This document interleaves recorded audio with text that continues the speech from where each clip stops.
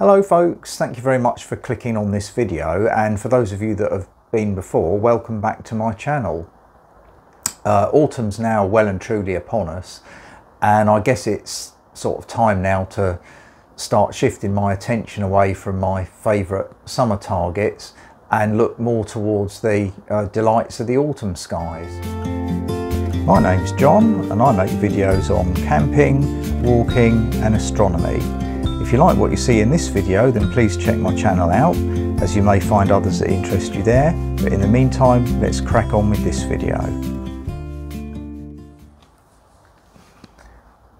For me the uh, constellation of Cassiopeias are actually visible all year round um, but at this time of year it tends to sit at a sort of ideal position uh, from my back garden and missing my roof and all these sorts of things and climbing above light pollution.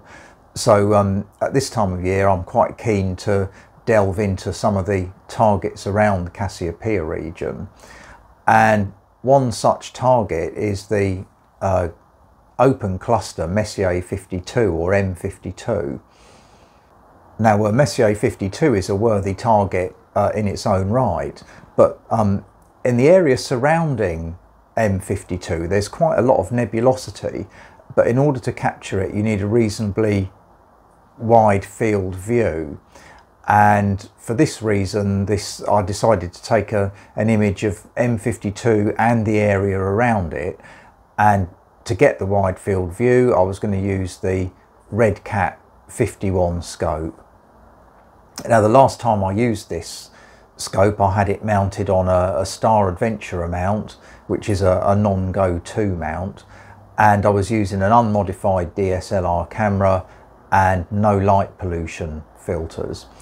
For this little exercise I have the Redcat 51 fitted to the EQM, the Skywatcher EQM 35 mount which you can see behind me there.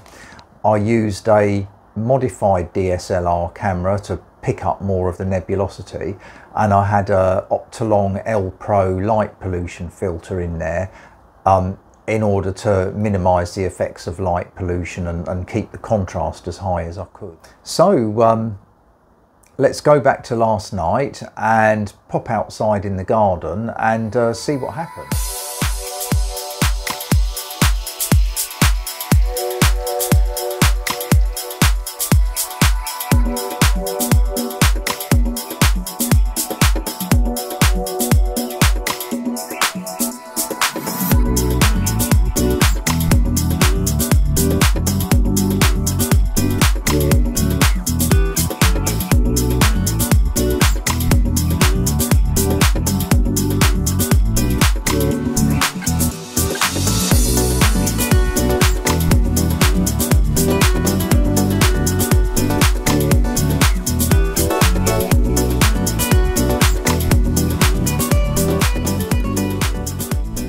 So I was dead chuffed when I saw my first images come off the off the camera. Um, just in a single exposure, I could see the Lobster Claw Nebula, which is a, a big area of nebulosity uh, near M52 open cluster, but I've never ever been able to capture it before, so I was really pleased with that. Uh, M52 was blindingly obvious um, in the image, so uh, yeah, having um, certified that I was actually pointing in the right place, I uh, messed about a bit with the exposure times and ISOs and stuff. I started off with um, exposure times of 90 seconds and gradually cranked that up to, to two minutes and ISO 800 and in the end two minute exposures ISO 800 was what I went for and I took I think 61 exposures before calling it a day and going to bed. So this morning then I uh, was mad keen to get on and process my images uh, from, from last night. Uh, and I did my usual thing. I stacked them in Sequator and then I took them into Photoshop for a bit of uh, manipulation. I did put them in the stacked image into StarNet++ to get rid of the stars to enable me to uh, stretch the nebulosity out a bit better. And StarNet++ did a reasonable, if not perfect job um, you can see the uh, starless image here. I think there are just so many stars within this image because the Milky Way runs smack through Cassiopeia that um, yeah StarNet++ Plus was having a, a, bit of a hard time but nonetheless um, it was a lot easier than not using StarNet++ and uh, overall I was uh, I was pretty pleased with the image that I got at the end.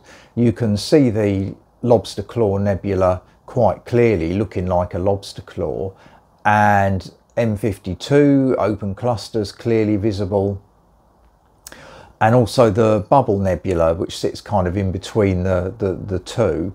Um, you can see the bright patch of nebulosity there the bubble's not really visible here uh, simply because the field of view is so wide that it would struggle to pick up something as small as the bubble um, uh, but there are other bits of nebulosity in there as well uh, you can see little bright patches here and there and dimmer bits of red. So uh, yeah, overall I was, uh, I was pretty pleased with the image. So I will put that up now, hope you like it.